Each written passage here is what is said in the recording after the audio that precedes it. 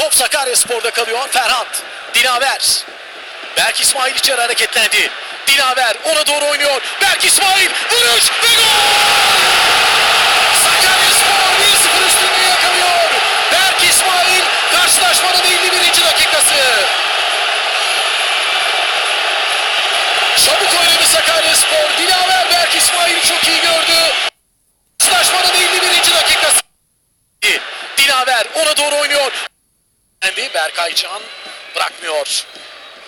Bir kez daha Berkaycan. Ümit Yasin. Berk İsmail.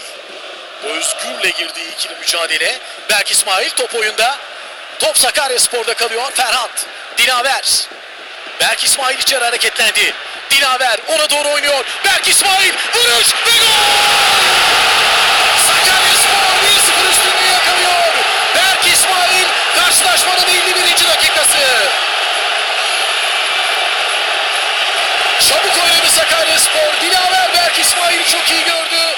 Ve Berk İsmail topu ağlara gönderiyor. Çok büyük bir sevinç tribünlerde. Sakaryalı futbol severler ayakta.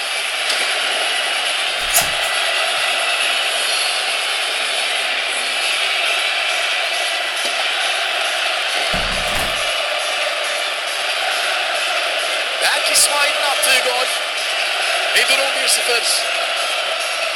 İşte izliyoruz. Dilaver savunmanın gerisini iyi gönderiyor. Ve Berk İsmail topu ağlara gönderen isim. Berk İsmail Ünsal. Galatasaray'ın altyapısından yetişen bir isim. Antalya Spor, Giresun Spor, Gümüşhane gibi takımların formasını giydi. Bu sezon 13 gole imza attı ve 14. golü böyle geldi. Berk İsmail Ünsal'ın 51. dakikada Sakarya Spor 1-0 üstün.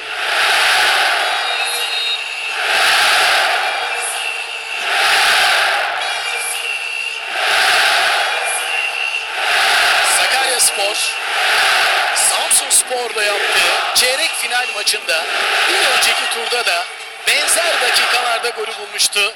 O maçta 55. dakikada Serkan Odabaşoğlu golü atmıştı. Bu kez 51. dakikada Berk İsmail golü atıyor ve durum şimdi 1-0. 1-0'ın avantajını Samsun Spor karşısında çok iyi kullandı Sakarya Spor. Aynı şekilde 1-0'ın avantajını Sarıyer Kastamonu Spor karşısında çok iyi kazandı. İki takım da kendi evlerinde 1-0 kazandıktan sonra rakiplerini elediler ve bu akşam yarı finale geldiler. Şimdi 1-0'ı yakalayan takım Sakarya Spor. 53. dakikadayız. Ferhat